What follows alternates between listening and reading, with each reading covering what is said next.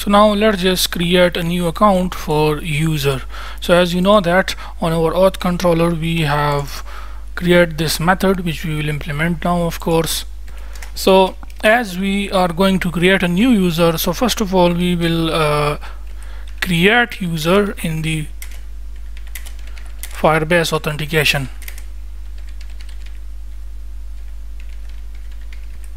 Okay and then the next step will be next step will be basically to save the user profile image to Firebase storage. And then finally as a result of this when we save the image to the Firebase storage we get the download URL now that download URL is basically a link with the help of which we can access that specific image each image will have their own unique download URL okay? Similarly after that we will save this information alongside with the username user email and user password the image download URL all this information we will save finally to the Firestore database. So you can say save user data to the Firestore database. So these three steps we have to implement. So first of all let's create user that is save user in the Firebase authentication. So for that purpose we can simply say that user credential which belongs to the Firebase auth package or you can say dependency. So user credential credential equals to let's make this method asynchronous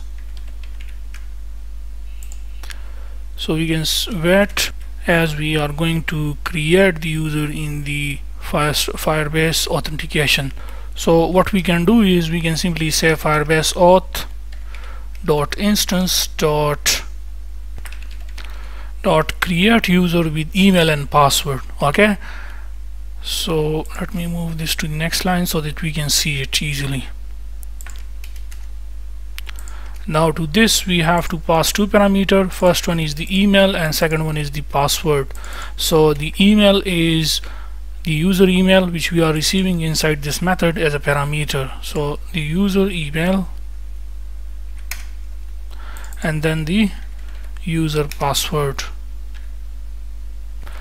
So this piece of code this will basically create the user inside the Firebase authentication using the user email and password.